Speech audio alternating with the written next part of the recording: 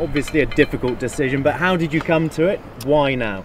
Yeah, not a decision I've taken lightly. Uh, it's I've been open and honest about when I'll finish and when the day will come for the last three years. I've engaged a lot with ex-players as to when they stopped and how it came about and how the transition worked. And each man to, or each person to a man said there's a, a time and a place where it, it hits you. Um, or the other common answer was, you, you, know, you wake up and you know. And that moment came for me in Amsterdam. Um, and I think it's a culmination of a lot of things um, that over the course of my international career, which is, has been a long time, I've just come to the end. Uh, I'm glad I was in a, a, sound enough space to understand that feeling and, and be well aware of, of what it meant.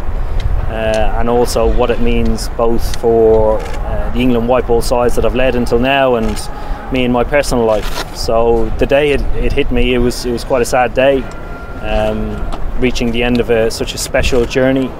But in, in many ways since that day, I've, I've been incredibly proud um, and content with the decision and excited for English cricket going forward. Uh, there's been so many strong decisions made uh, in a positive way for not only our group but the test group over the last month and a half.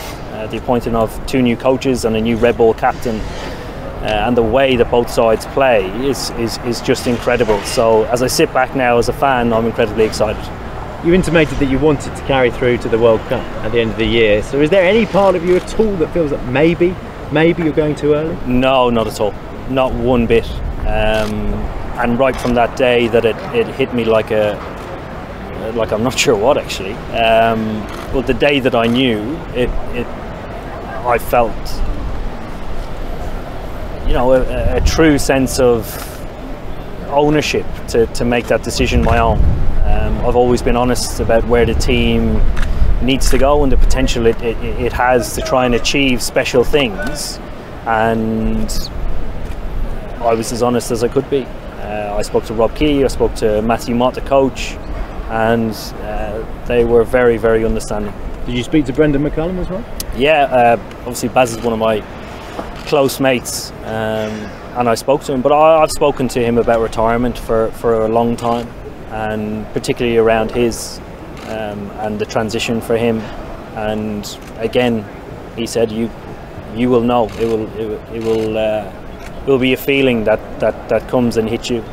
Just make sure you recognise it when it comes." And you're making the announcement here at Lords, the scene of that World Cup triumph in 2019. Rob Key says that victory won't define you because of everything else that you've done. But is that your career highlight? It's fair to say.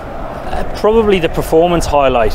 Um, if you could take me back to one moment um, in my international career, I'd probably, and uh, sorry, to relive, I'd probably go back to when we first started in 2015 at the very beginning of the summer. The journey since then has been absolutely incredible. Um, people talk a lot about performances and uh, how proud you should be, both as a player and as a captain, but actually the the great people that I've built, some of the best memories with that'll be with me for the rest of my life. Um, I could definitely relive. And what now for you? I know you're going to continue with domestic cricket in the short term at least. Any interest in staying within the setup?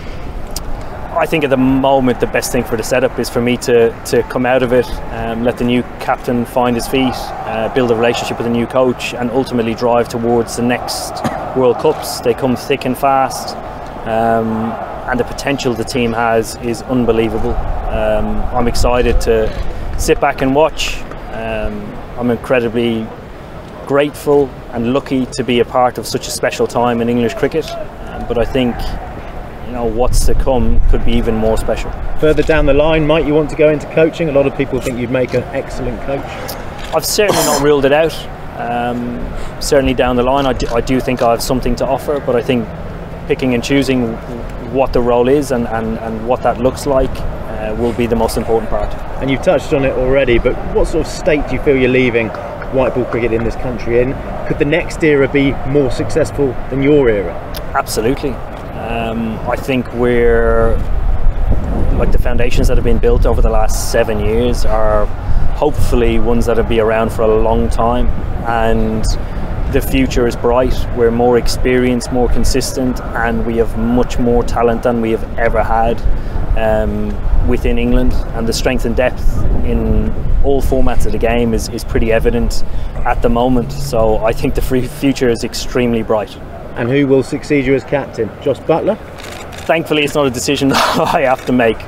Um, there are some obvious candidates. Uh, Joss Buttler being one of them and Mo Ali being uh, the other. There are some tremendous leaders as well within that group. Uh, Jonny Bairstow, Jason Roy, Chris Woakes, Chris Jordan, um, guys that could, could definitely do the job. Obviously, Joss has, has been in charge. He's been a, an unbelievably good vice captain while I've been captain, and when he's stepped in, he has been an exceptional leader. Um, he obviously commands himself with the bat as, as, as, one of the best players in the world, but also as a leader within the group, he, he, he, commands tremendous respect. You don't think the burden of the captaincy on Buttler would be too much, would affect his form? No, no, no, not at all. Yeah. What makes you confident in that sense? Because he's done it before um, on tours that I've missed or been injured in he's come straight in and that is a true test of, of how you hold the weight of each and every decision um, and how it impacts your performance and the evidence is there that it's, it's never affected Joss. You mentioned the moment that you realised that it hit you when you were in the Netherlands. Can you just tell us a little bit more about precisely sort of where and when that moment hit you and, and kind of what emotions were at that point? Yes, strange emotions because I've never had that feeling before in my life, uh, regardless of being through perform, the team being beaten up and down a country during a World Cup. There's always been a plan and a way out, and having the energy and determination to execute those plans is, is a huge part of being in the position that I've been in today.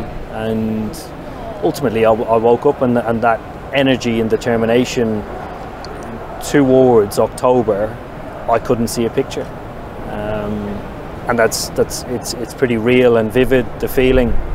Um, and like I said something I've never experienced before. So no doubts? Absolutely no doubts no. I mean obviously you've achieved so much over the years but people I guess will inevitably come back to, to 2019 and what happened here at Lords. How proud are you of, of what you and that team achieved three years ago? I'm unbelievably proud. I think the foundations that started in, in 2015 and obviously culminated in the win in 2019 didn't go without the odd upset, the odd challenging moment, um, moments that stick out. 2016 World Cup final against the West Indies in Calcutta, Champions Trophy semi-final in Cardiff in 2017. And they're all stepping stones and learning experiences that I suppose a group that weren't as comfortable enough to, to play in their own skin and express themselves in the way that they wanted to would have let slip by and wouldn't have learned from them. So culminating in, in 2019, it's, it's obviously a special day and a special moment and one that I will never forget. Yeah, is, is there a particular abiding memory of that day in 2019? There must be so many, but is there one thing that sticks in the, in the brain more than most? Uh, it's, it's actually the moment after the game. Um, I mean, the whole day you're caught up with, with making decisions and, and making sure everybody's all right and trying to think out plans and, and, and think about your own performance in the game. But when the trophy was presented and we were walking around the ground doing a lap of honour, seeing uh, family members, friends, um, know, everybody that is related to somebody within the squad, the emotions that they went through the whole day and the stories of, of how they felt and experienced the day of, will always stick with me. And playing for England's been such a big part of your life. Um, how much are you going to miss it and what are you going to miss most? The thing I'll miss the most is spending as much time as I have done with some of the greatest people that I know. Um, I've built incredible memories with some of my best friends that just happen to play in the same team as me, and I'll miss that.